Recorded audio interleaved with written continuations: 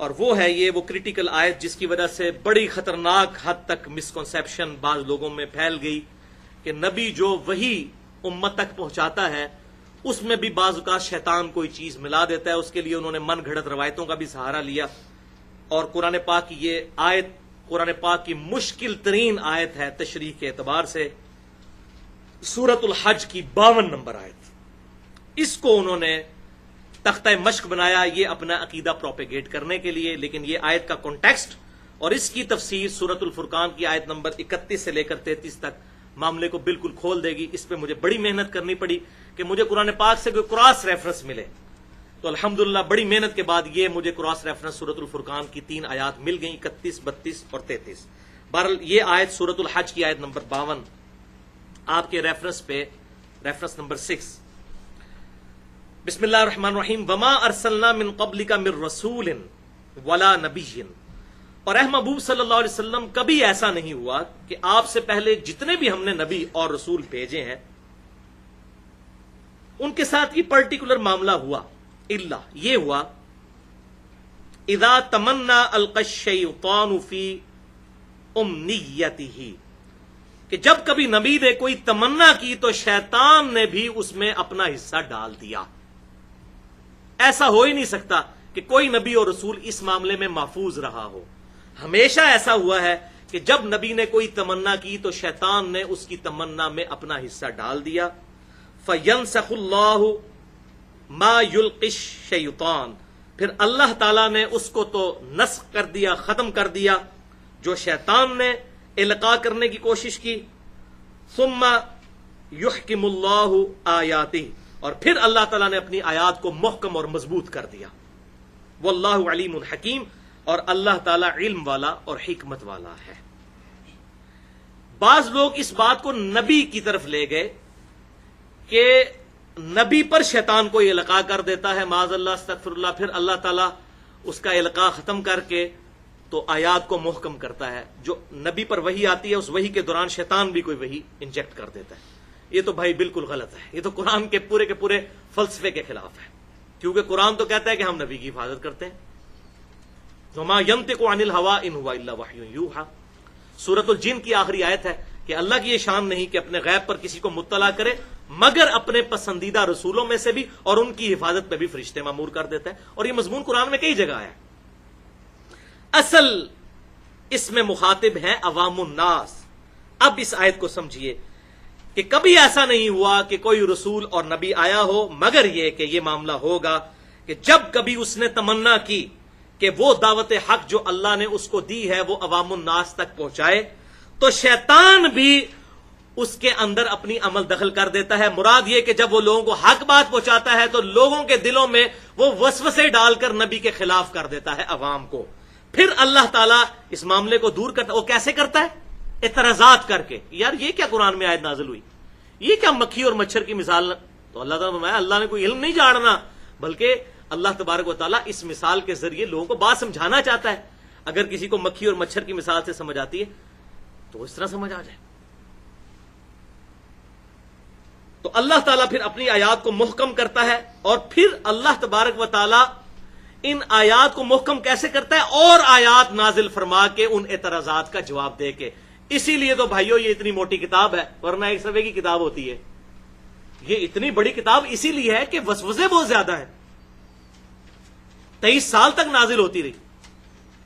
तो उन वसवसों को सेटल करने के लिए अल्लाह ताला कहता है कि जब ये वामुन्नास के अंदर कोई ऐसा मामला करते हैं तो अल्लाह ताला अपनी आयात को मुहकम कर देता है। ये तफसीर मैंने अपनी तरफ़ से नहीं की। इसकी सपोर्ट में ये आयात मुझे मिली। अल्हम्दुलिल्लाह, बड़ी मेहनत के बाद सूरतुल फुरकान, आयत नंबर 31 से 33 रेफरेंस नंबर सेवन ये बाकी आयात सूर्य हज की बाद में मुकम्मल करेंगे। यहाँ क्रॉस रेफरेंस के तौर पर इस चीज़ को ले लें। वकदाली का जालना लिकुल्ली नबी अदु वम मिनल मुजरिमीन। और हमने इसी तरीके से हर नबी के दुश्मन बना दिए मुजरमों में से। यानी अल्लाह ताला ये कशमकश करता है, ये दुश्मन भी अल्लाह ताला ने शैतान भी पैदा किया और ये सारे मामला ये जो हालात हुए आजमाइश के लिए। वह कफा रबी का हादियम व नसीरा, और तेरा रब काफ़ी है हदायत देने को और मदद करने को। वकाल अल्लदीन कफरू, लौला नुजिल जुमलतम वाहिदा। और काफिर ये एतराज़ करते हैं कि ये कुरान एक इकट्ठी किताब की सूरत में क्यों नहीं नाजिल हुआ? कुरान में खुद लिखा हुआ है कि तोरात और इंजील जो है वो इकट्ठे नाजिल हुए हैं। तोरात मूसा इस्लाम को दी गई इकट्ठी तख्तियों की शक्ल में। ये कुरान क्यों तेईस साल से नाजिल हो रहा है? मक्की दौर में तेरह साल से इकट्ठी एक किताब सिलेबस के तौर पे पकड़ा दी जाती अभी काफरों का इतराज था। तो अब देखो, इतराज करने में तो कोई भी इतराज कर सकता है। यानी अगर इकट्ठी हो जाती फिर तुम मान लेना जी। ईसा इस्लाम पे बारह बंदे ईमान लेके आए। मूसा इस्लाम पे भी ईमान लाने वाले तो छह लाख के करीब थे जब किताल की बारी आई तो दो बंदे साथ रह गए, बाकी सारे इधर उधर हो गए। तो ये इतराजात, दिल बेईमान थे उजटाट जिन्होंने पंजाबी कहना है कि दिल में बेईमानी हो तो फिर झूठे दलायल तो बहुत घड़े जा सकते हैं। तो ये काफर इतराज करते हैं ये किताब इकट्ठी क्यों नहीं नाजिल हुई? तो अल्लाह तला फरमाता है कदालिक ये इसलिए है लिनुसबिता बिही फुआद का वरत तल ना हो तरतीला। ये इसलिए क्या महबूब वसल्लम, हम आपको इसके ज़रिए मज़बूत करें और ठहर ठहर करके आप पर यह किताब पढ़ें। मुराद ये कि आप वसल्लम के लिए गाइडलाइंस हैं। मुसलसल तेईस साल से आपका अल्लाह ताला के साथ डायरेक्ट रिश्ता बरकरार और आपको आहिस्ता आहिस्ता इसके ज़रिए मज़बूत किया जा रहा है। पहले गाइडलाइंस आती हैं, उस पर अमल करते हैं, नई आजमाइशें आती हैं, फिर अल्लाह की तरफ़ से गाइडलाइंस आस्ता आस्ता इवॉल्व होते हुए साहब इक्राम की एक जानसार जमात आपके पास तैयार होगी है। इसलिए कि आपके दिल को मज़बूत करते हैं हम इसके ज़रिए। जो कि अल्लाह तबार ने सुर हशर में भी फरमाया कि अगर ये किताब नाजिल होती पहाड़ों पर तो रेजा रेजा हो जाते पहाड़। नबी सल्लल्लाहु अलैहि वसल्लम के मुबारक दिल पे आहिस्ता आहिस्ता इसको नाजिल किया गया, ताकि आपके दिल को मज़बूत किया जाए इसके ज़रिए। वला तू का बिमतलिन इल्ला जिना का बिलहक व अहसन तफसीरा। और ए महबूब सल्लल्लाहु अलैहि वसल्लम, तुम देखो, कोई ऐसा एतराज़ नहीं, ये लेकर आए और हम उसका कोई ना कोई माकूल जवाब आपको तालीम फरमा देते हैं। अहसन तफसीरा। अब इसको ऊपर जोड़ लें सुरह हज की बावन नंबर आयत के साथ। कि अल्लाह ताला फरमाता है, जब कोई शैतान कोई काम डालने की कोशिश करता है तो अल्लाह ताला शैतान की उस मामले को पीछे करके अपनी आयात को मोहकम करता है, मुराद ये उसका जवाब दे देता इसी तरीके से सूरत अंबिया में आया कि ये काफिर जिनको पूज रहे हैं, जिन पत्थरों को, अल्लाह ताला इन पत्थरों को भी दो में डाल देगा। इन बुतों को भी दो में फेंकेगा। तो काफरों ने मज़ाक उड़ाना शुरू कर दिया। अच्छा इसका मतलब है, जितने झूठे मबूद बनाए गए हैं, वो दोजख में जाएँगे तो ईसा इस्लाम को भी फिर दोजख में डाला जाएगा। क्योंकि ईसा इस्लाम को भी तो पूछते थे ईसाई। अब पता तो काफरों को भी था कि ईसा इस्लाम ने अपनी इबादत तो खुद नहीं करवाई। वो तो अल्हम्दुलिल्लाह इमामुल मुवाहिदीन थे। ये तो लोगों ने उनके लिए डिविनिटी क्लेम की। फिर अल्लाह ने इसका जवाब भी दिया। सूर्य जुहरफ के अंदर क्या महबूब सल्लल्लाहु अलैहि ये जो ईसा की मिसाल इन्होंने आपसे बयान की, आप टेंशन ना लें, ये हुज्जतबाजी करने के लिए की। हालाँकि इनको भी पता है कि हमारे खास बंदे थे और वो क्यामत की खबर है। यानी नजूल ईसा जो है ये क्यामत की खबर है। इसी पे मैंने मसला नंबर बारह, हयात मसीह और नजूल मसीह अलैहिस्सलाम उसमें इस आयत को भी सबूत के तौर पर पेश किया है। तो हर चीज़ का अल्लाह तला माकूल जवाब, अल्हम्दुलिल्लाह, तालीम फरमा देता है। अब इसकी हिकमत क्या है कि ऐसा क्यों होता है कि नबी दावत दे रहा है, शैतान अपना काम डाल रहा है, फिर अल्लाह तला आयत नाजिल कर रहा है? ये इसका सबूत। तो सूर्य हज की बावन नंबर आयत की अगली आयात पढ़ लीजिए, दो आयात, तिरपन और चौवन। ये किस लिए है? लियज मा युल्क़ैतानु फितनतल्लदीन फ़ी कुलूबिही मरब ये इसलिए है ताकि हम शैतान की इन बातों को आजमाइश का ज़रिया बना दें। उन लोगों के लिए जिनके दिल के अंदर मर्ज हो चुका है, जिन्होंने बात नहीं माननी। वल कासिया, और उनके दिल सख्त हो चुके हैं। कासियतिल कुलूब उनके दिल सख्त हो चुके हैं। यह उनके लिए आजमाइश बन गई है। अब इस बात को उससे भी जोड़ लीजिए। जो ये अक्सर लोग माजल्ला कुरान की तोहीन करते हैं, कहते हैं जी, कुरान में आया यो दिल्लु भी कसीर यहदी भी कसीरा। अल्लाह ताला इस किताब के ज़रिए लोगों को गुमराह करता है और हदायत देता है। अस्तफरल्ला ये कॉन्टेक्स्ट ही नहीं है इसका। ये सूरतुल बकरा की आयात पीछे से शुरू होती हैं कि काफिर इतराज करते हैं कि मक्खी और मच्छर की मिसाल कुरान में क्यों आई? तो अल्लाह तला फरमाता है कि हमारा मकसद तो इल्म झाड़ना नहीं, बल्कि बात समझाना है। फिर अल्लाह तला ने ये इल्जामी जवाब के तौर पर कहा ताकि अल्लाह ताला इसके ज़रिए तुम्हें गुमराह करे। क्यों गुमराह करे? कि तुम इस मिसाल को मानने के लिए तैयार ही नहीं हो रहे। और हदायत दे उनको जो कुरान को मान लें। लिहाजा जो कुरान पढ़ के कुरान के ऊपर अमल कर रहे हैं ना, वो है हदायत वाले। और जो कह रहे कुरान डायरेक्ट ना पढ़ो, गुमराह हो जाओगे। बेसिकली वो है यू दिल्लू भी कसीरा। और कहते हैं कुरान पढ़ के लोग गुमराह हो जाते हैं। कुरान में कहीं नहीं लिखा हुआ कुरान पढ़ के लोग। ये तो कुरान का मुकदमा ही खत्म हो जाएगा। ये कुरान तो आया हुदल नास सूरतुल बकरा में। बैनात मिनल हुदा वल फुरहान हदायत की रोशन दलाइल और हक और बातिल में तमीज करने वाली किताब। अगर हम ये काफरों के ये किताब पढ़ के आप गुमराह भी हो सकते हैं और सही भी हो कहेंगे अपने कॉल रखो किताब। अस्तफिरुल्ला आउट ऑफ़ कंटेक्स्ट कोट किया अल्लाह तला ने टॉन्ट किया कि काफरों, जब इस किताब की तुम वाजे बातें को नहीं मानते, बातों को नहीं मानते तो तुम्हारी गुमराही में इजाफा होता है। हम ये इसलिए नाजिल करते हैं कि ईमान वालों को इससे और हदायत मिले और तुम लोग इसका इनकार करके खुद गुमराह हो। इनकार करके, ना कि मान के। और यहाँ पर भी अल्लाह तला फरमा है, ये हम इसलिए करते हैं ताकि शैतान फितना खड़े कर दे उन लोगों के लिए जिनके दिलों में मर्ज है और जिनके दिल सख्त हो चुके हैं। वह इन वालमीन लफी शिकौकिम बईद। और ये जो जालिम है, ये तो दुश्मनी में बहुत आगे जा चुके हैं। हक बात नज़र भी आ रही है ना, फिर भी नहीं माननी। और ये हमेशा से ह्यूमन इंस्टिंक्ट है। आज तक है। अब किसी भी सुन्नी से पूछ लें कि जी, अहले सुन्नत की सबसे मोतबर किताब कौन सी है हदीस की? कहेगा जी, बुखारी और मुस्लिम। और उससे पूछें, भाई, बुखारी और मुस्लिम में नमाज़ का जो तरीका लिखा हुआ है, आपको पता है? तो पचानवे परसेंट सुन्नी उस तरीके में नमाज़ ही नहीं पढ़ रहे दुनिया के। उधर आके वो किताब बैकग्राउंड में चली जाएगी। उनके लिए आजमाइश बन जाएगी। फिर कभी कुछ कहेंगे, जी, वो फलानी छह लाख दीसा याद सुनते एनियाँ कटा देती हैं तो एनियाँ बदा देती हैं। छह लाख दीसे नबी की कहाँ से आई? भाई, वो तुर्क थे। आपकी टोटल हदीसें दस हज़ार है। वो छह लाख तुर्क है।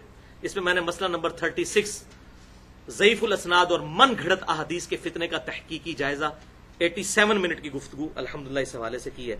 तो मुखालफत पे कोई बंदा उतर है तो कभी भी हक बात नहीं मानता चाहे आप उसको कुरान हदीस खोल के भी दिखा दें।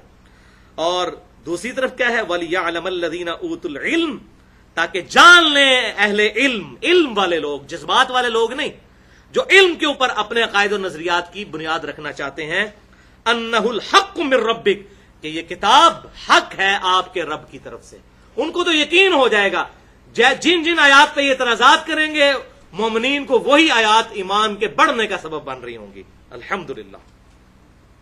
मेरे रबिक तेरे रब की तरफ़ से, फयुमिनू बिह, और वो इस पर ईमान लाए। फतुख बितलहू उलूबहुम, और ताकि उनके दिल झुक जाएँ इस किताब की तरफ़। व इन लहदा लहा दिल्लदीन आमनू बेशक अल्लाह ताला हदायत देने वाला है ईमान वालों को इला सिरात मुस्तकीम, सीधे रास्ते की तरफ़। ईमान वालों को जो वाकई खुद ईमान लाना चाहें। तो ये अल्हम्दुलिल्लाह सूरतुल हज की आयत नंबर बावन से लेकर चौवन तक ये मामला बिल्कुल क्लियर हो गया इस हवाले से। लेकिन अभी भी क्रिटिकल चीज़ें कुछ बाकी हैं, इंशाल्लाह अगली दफ़ा डिस्कस करेंगे। एक चीज़ मैं डिस्कस कर लूँ ये सूरतुल हज की बावन नंबर आयत के कॉन्टेक्स्ट में एक मुरसल रवायत है जो तफसीर इबन कसीर में भी नकल की गई। इबन कसीर ने भी उसको जयीफ डिक्लेयर किया कि नबी सल्लल्लाहु अलैहि वसल्लम कुरान पाक की आयात तलावत कर रहे थे सूरत नजम की। तो उसी दौरान, उसी वज़न के ऊपर आप सल्लल्लाहु अलैहि वसल्लम की मुबारक ज़ुबान से कुछ और अल्फाज निकल गए। उनकी, काफरों की, देवियों के बारे में तिलकल गुरानिकुल उला, कि ये देवियाँ बड़ी ऊँचे मरतबे की हैं, लात और उज्जा। ये रवायत वो पेश करते हैं कि उसके बाद फिर काफिर भी जो है वो सजदे में गिर पड़े। तो नबी सल्लल्लाहु अलैहि वसल्लम ने तो कुरान की आयात पढ़ी थी।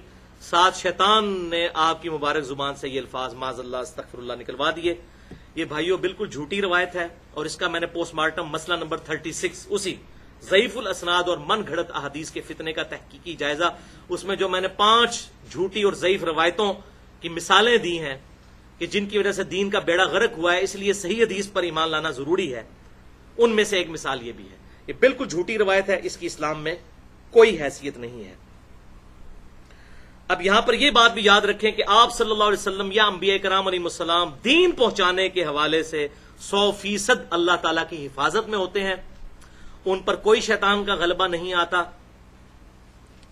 लेकिन, जहाँ तक दुनियावी मामला का ताल्लुक है, सही मुस्लिम में ऊपर तले चार तुर्क मौजूद हैं कि आप सल्लल्लाहु अलैहि वसल्लम ने शाद फरमाया, वो बड़ा डिटेल वाक्य है, अभी टाइम नहीं बयान करूँ, तबीर नहल वाला वाक्य, वो खजूरों की पैवनकारी और ग्राफ्टिंग वाला वाक्य। उसमें आप सल्लल्लाहु अलैहि वसल्लम ने एंड पे शाद फरमाया अन तुम आलमो भी अमरी दुनिया कुम दुनिया के कामों को तुम बेहतर समझते हो। और उसमें आगे अल्फाज है सही मुस्लिम में। अबू दाऊद में भी मौजूद है ये हदीस। मुस्लिम में चार तुरुक इसके मौजूद है। कि जब कभी मैं तुम्हें अल्लाह के रेफरेंस से कोई बात बताया करूँ तो उसको मिन्नो अन कबूल किया करो।